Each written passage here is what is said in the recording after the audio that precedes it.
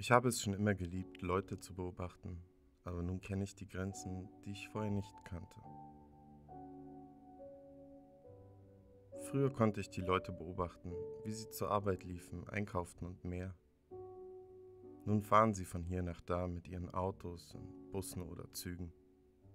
Ich kann sie nicht mehr dabei beobachten, wie sie lächeln, lachen und miteinander reden, während sie meine Straße entlang zum Einkaufen gehen.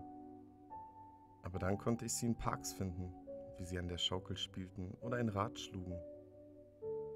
Ich beobachtete auch alte Leute in Kneipen, wie sie tranken. Nicht, dass sie mich bemerkten, aber es wurden dennoch immer weniger Leute in den Kneipen und Parks meiner Umgebung. Ich war wirklich verärgert. Alles, was ich wollte, war es, Leute zu beobachten. Zuzusehen, wie sie ihr Leben genossen oder nicht. Ihnen dabei zuzusehen, wie sie miteinander kommunizierten. Es brachte mir ein kleines Licht in meine dunkle, einsame Welt. Ich dachte mir, wenn sie nicht zu mir kommen wollen, komme ich eben zu ihnen. Ich schlief durch meine Nachbarschaft bei Nacht. Ich schaute in jedes Fenster, welches nicht von Vorhängen oder Jalousien verdeckt wurde. Leider reichte es für mich nicht aus, so diesen Reiz zu befriedigen, also wanderte ich immer weiter und weiter, von Nacht zu Nacht. Schließlich fand ich endlich ein Haus, welches selten die Vorhänge geschlossen oder die Jalousien heruntergelassen hatte. Ich konnte die ganze Familie beobachten. Ich konnte sogar die Kleinen in ihren Zimmern im Erdgeschoss beobachten, während sie schliefen. Das war ausgesprochen befriedigend. Aber ich musste extrem nah an die Fenster ran, um eine klare Sicht zu haben, wie ihre kleine Brust sich auf und ab bewegte, während sie träumten. Aber nach ein paar Wochen streckte ich mich gerade, um einen besseren Blick auf den Fuß des kleinen Mädchens zu erhalten, welchen sie unter ihre Decke hervorstreckte. Jedoch hatten gerade die Eltern ihre Köpfe in das Zimmer ihrer Tochter gesteckt, um nach ihr zu sehen und entdeckten mich, wie ich am Fenster stand. Nach einem kurzen Aufenthalt auf dem Polizeirevier wurde ich mit einer Verwarnung gehen gelassen. Es schien, dass es falsch war, Leute durch ihre Fenster anzustarren. Okay. Wenn ich also nicht durch dein Fenster schauen darf, um dich zu beobachten? Am nächsten Tag ging ich zu ihrem Haus und versteckte mich, bis alle das Haus verlassen hatten. Ich kletterte hinten durch ein kleines Fenster hinein. Ich wusste, es gab einen Schrank, den sie, seit ich sie beobachtete, nicht geöffnet hatten. Also öffnete ich die Türen des Schranks und machte es mir ein wenig gemütlich für die lange Wartezeit, die ich vor mir hatte.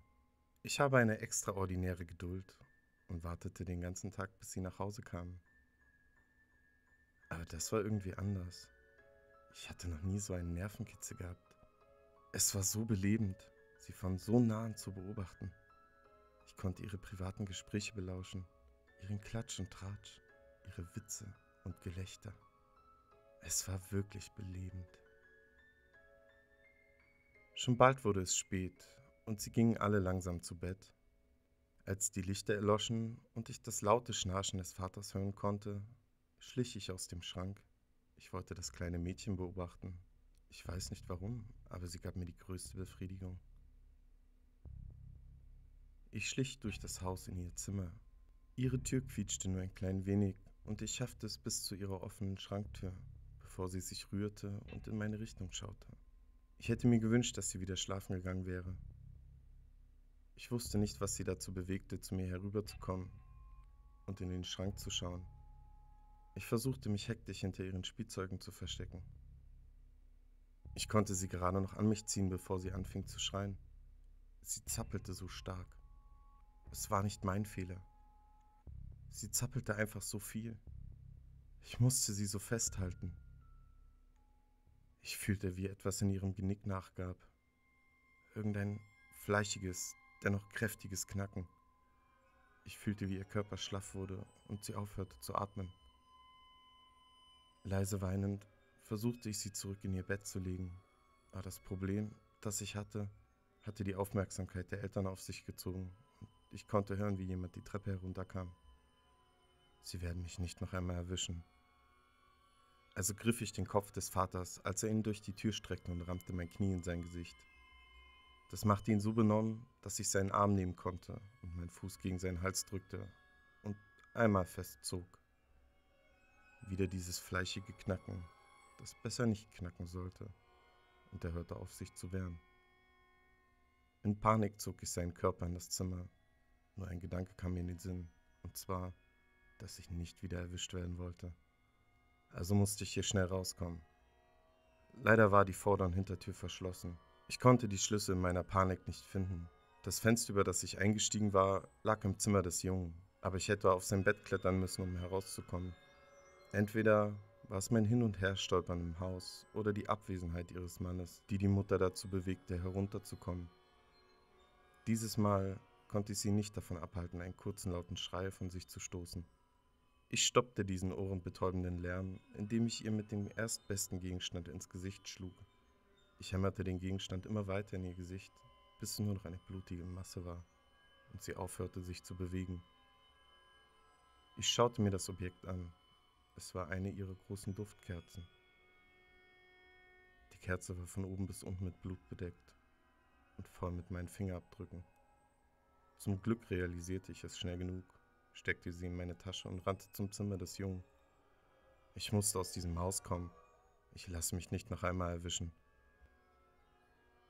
Dieses Mal brach ich durch die Tür und gab dem armen Kind keine Chance.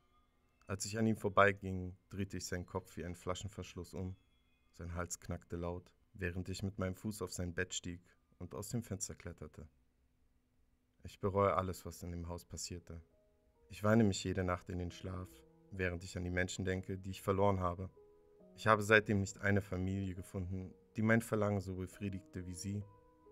Aber seitdem die Polizei mein Haus durchsucht hatte, bin ich nie wieder zurückgekehrt. Ich lasse mich nicht noch einmal erwischen. Nun reise ich durchs Land und suche nach einer Familie, die es wert ist, beobachtet zu werden. Diese Duftkerze mit mir herumtragend, als Erinnerung für das, was ich verloren habe. Ich hatte diese Internetseite hier gefunden, während ich dieses Mädchen beobachtete. Ich las die ganzen Stories hier, während ich sie beobachtete und dachte, dass es ein guter Ort wäre, meine Schuld zu gestehen und den Rest von euch zu warnen. Ich bin gut darin, es mir in Schränken gemütlich zu machen und ich bin nur daran interessiert, euch zu beobachten. Aber wenn ihr ein Geräusch aus eurem Schrank kommen hört, kommt nicht her, um nachzuschauen denn ich lasse mich nicht noch einmal erwischen.